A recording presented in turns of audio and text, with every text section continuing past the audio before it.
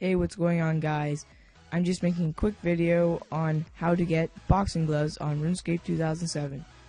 Um, you get purple or yellow. See, like that.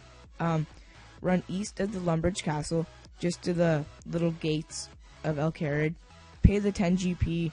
I just brought some money because I haven't beat the quest. Or if you beat the quest to go through, just go through. Uh, I should probably run. Okay. Oops.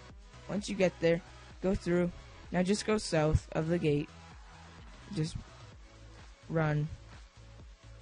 It's pretty close to the bank down there. Near like the furnace and stuff. See? Um and I should be there any second.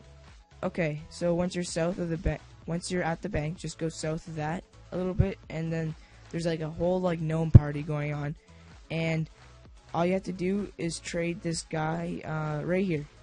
Trade him, and he sells boxing gloves, and that's how you get them. And he sells like other little stuff, like shirts and shorts and stuff like that. Anyway, uh, if this helped, leave a comment, like the video. Um, I'll see you guys later. Bye.